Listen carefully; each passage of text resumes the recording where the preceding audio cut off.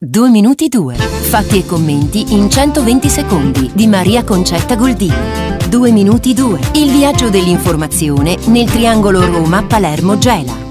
Nuovo appuntamento con 2 minuti 2 da Maria Concetta Goldini, un saluto a tutti gli ascoltatori. Hanno perso tutti, ma tutti cantano vittoria. Nella vicenda della mozione di sfiducia al sindaco greco che, come sappiamo, è stata rinviata nella trattazione di 40 giorni, tutti dicono di aver fatto un passo avanti, tutti dicono di aver vinto, ma non è così. Il centrodestra che doveva uscire forte, anzi fortissimo, dalla mozione di sfiducia al sindaco, anzi spedirlo anche a casa, ha dimostrato di non essere unito, anzi di non esistere. Il centrosinistra, che sembra risorto dalle sue ceneri, ha davanti però una montagna impervia da scalare e se fa da stambella l'attuale amministrazione non andrà lontano. Dai 5 Stelle, che hanno due senatori e un deputato di prim'ordine all'AS, non ci si aspettava eh, sicuramente questo silenzio e comunque ci si aspettava un ruolo da leader di chi sa guidare i processi e ehm, invece nulla di tutto questo questo. Non ha vinto nemmeno il sindaco che ha mantenuto la poltrona, solo che eh, da tutti gli schieramenti, a parte i suoi otto consiglieri, è stato sonoramente bocciato. La sfiducia greco la meritava e come, ma è stato graziato dalla proroga della Corte dei Conti. Per Greco sarà difficile riproporsi. Nei partiti, peraltro, ci sono già decine di aspiranti alla candidatura pronti a togliere il posto, anche se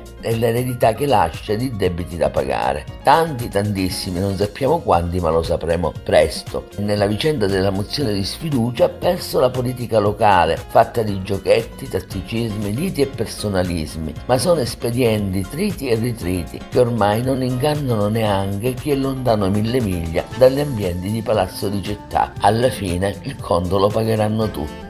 Al prossimo appuntamento. 2 minuti 2. Fatti e commenti in 120 secondi di Maria Concetta Goldini. 2 minuti 2. Il viaggio dell'informazione nel triangolo Roma-Palermo-Gela.